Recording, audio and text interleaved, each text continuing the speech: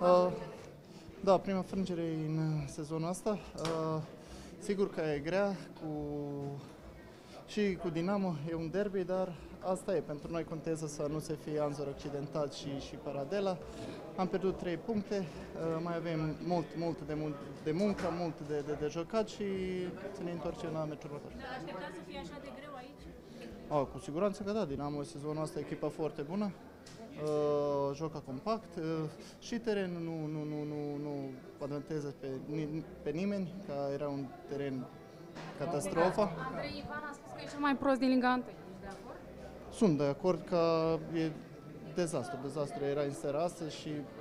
Dar asta, asta nu e scuze, de- la noi nimic nu a ieșit bine în seara asta, Uh, cum am spus, să nu se fie ceva grav la Anzor și Paradela. Dar frustrant că ați avut doi oameni în plus până la urmă. Da, cu siguranță. Uh, am avut două oameni în plus, am încercat să, să, să marcăm, nu, nu, nu, nu, nu am reușit, uh, am avut uh, ocazie, uh, nu știu, Ivan zice că a fost penalti la el, dar asta e, asta am pierdut în seara asta, ne înto- mergem să, să, să ne luptăm cu, cu, cu Rapidul, să câștigăm și să ne uităm de meciul ăsta. Din a surprins și golul l-au luat foarte repede.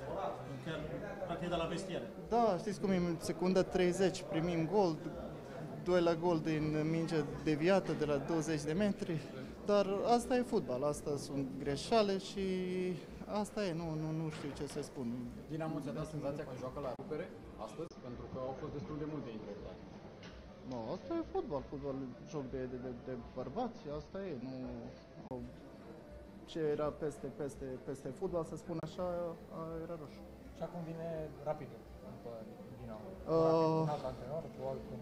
Da, cu alt antrenor, e motivația, ma- motivația să spun cum bună. Uh, ieri au câștigat uh, 2-1. Uh, noi jucăm acasă, trebuie să recuperăm 3 puncte astăzi și o să jucăm la, la victorie, cu siguranță. Mulțumim!